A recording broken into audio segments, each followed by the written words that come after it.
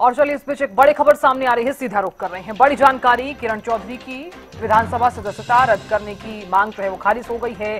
किरण के खिलाफ कार्रवाई की मांग दूसरी बार खारिज हुई है। देखिए, कांग्रेस की तरफ़ से पहले नोटिस भेजा गया था। नोटिस को स्पीकर ज्ञानचंद गुप्ता ने खारिज कर दिया था।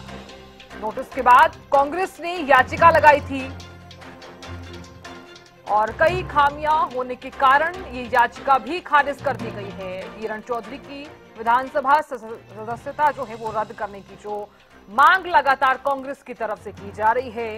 हालाँकि लगातार वो तस्वीरें भी हम आप तक साझा कर रहे थे, इससे पहले भी आपने देखा होगा कि कांग्रेस ने याचिका लगाई थी, लेकिन वो एक बार फिर से खारिज कर दी गई है। रवि लगातार बने हुए हैं। रवि, इस खबर को लेकर क्या जानकारी सामने आ रही है? बिल्कुल साधना देखिए कांग्रेस विधायक किरण चौधरी की सदस्यता रद्द करने का ये पूरा मामला है। कांग्रेस की तरफ़ से पहले जो है वो नोटिस विधानसभा अध्यक्ष ज्ञानचंद गुप्ता को दिया गया था।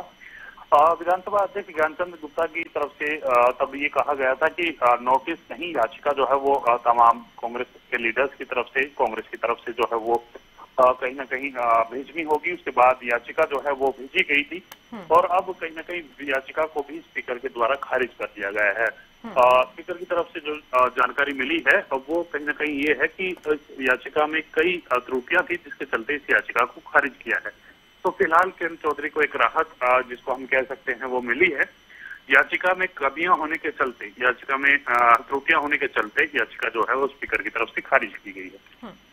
चलिए रवि नज़र बनाए रखने के लिए बहुत शुक्रिया। तो देखिए नोटिस के बाद कांग्रेस ने जो है वो यहाँ पर याचिका लगाई, लेकिन आज जिस तरह से दूसरी बार याचिका लगाई गई थी और वो भी खारिज कर दी गई है तो देखिए विधानसभा सदस्यता रद्द करने की मांग जो है यहाँ पर खारिज कर दी गई है। कई खामियाँ होने के कारण ये वाली याचिका भी जो है वो खारिज कर दी गई है।